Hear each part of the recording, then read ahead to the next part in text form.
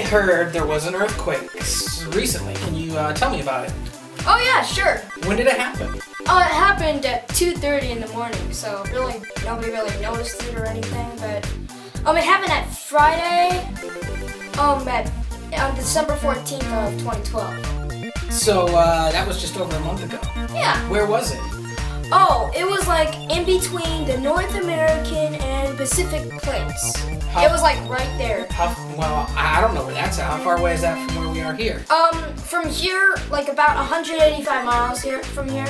So really nobody really felt it. It was like a 1.9 It was where, like, where was it out in the? Was it in 185 miles west, east, north, south? Southwest. Southwest was out in the ocean.